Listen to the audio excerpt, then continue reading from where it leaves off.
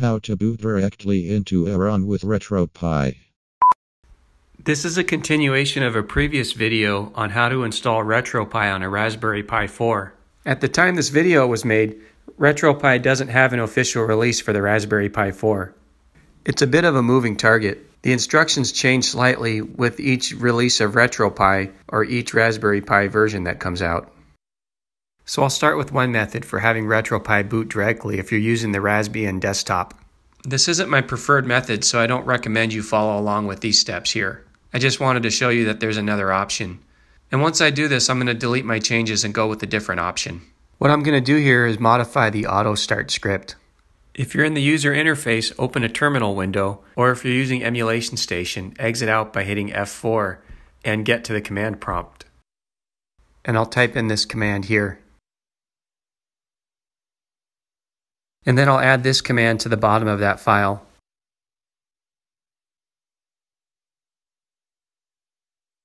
I'll press Ctrl X to exit and then save. Now when I start my Raspberry Pi, which is running the Raspbian desktop, it'll go directly into RetroPie. So again, this isn't the method that I prefer. Before I continue with the restart, I'm going to open the folder and then tree up to the root and show you that the auto start file that is typically with Emulation Station is not installed. So if I go to the folder opt retropie configs all, I should see one that says autostart.sh in here, and I don't. So I'll go ahead with the reboot. And instead of loading into the desktop, it goes directly into RetroPie. Now from here, if you want to add ROMs or get back to your desktop, you either hit F4 or you push the start button and quit Emulation Station.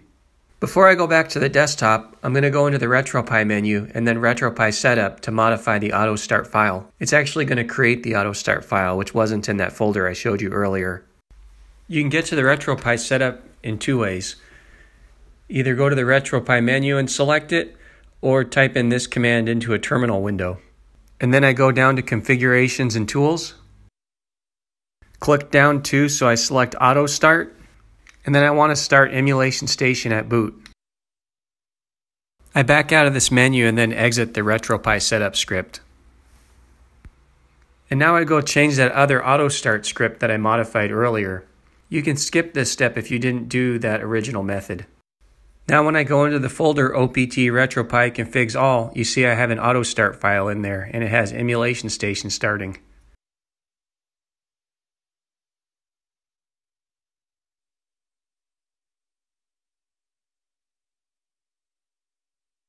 Now using this method, you can boot directly into a ROM.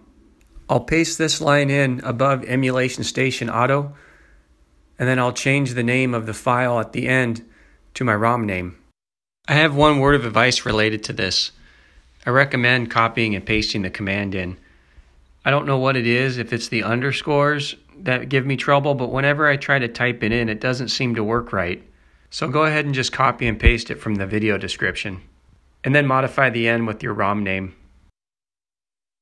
Now what I'm showing you here is if all you have is a terminal window, you can type this command in and still edit that auto start script. Now I'm going to reboot the system.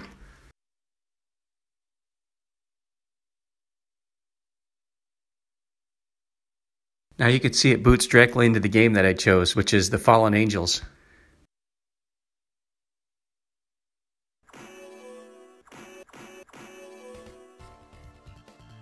And I'm going to play as this guy named Cool.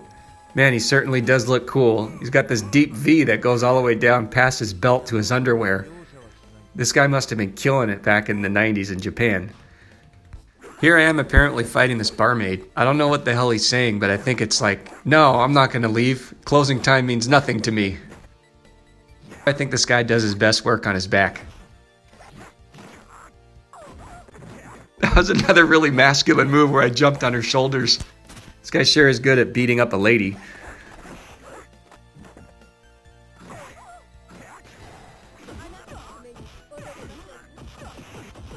Okay, F this. I'm done with this game. So you push start and select to exit. So what this is doing here is booting directly into the game. And then when I exit the game, it's booting into Emulation Station. And then if for some reason I need to go into the file system, I can just exit Emulation Station by pushing start or F4. When I quit Emulation Station, it's going to put me right back into the command prompt. And so to start the user interface again, typing in the command start X.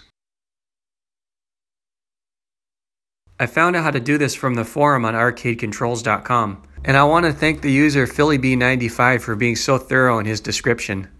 I was really happy to be able to boot directly into a ROM, and I hope this is useful for you too. Thanks for watching. Abdia, abdia, that's all folks.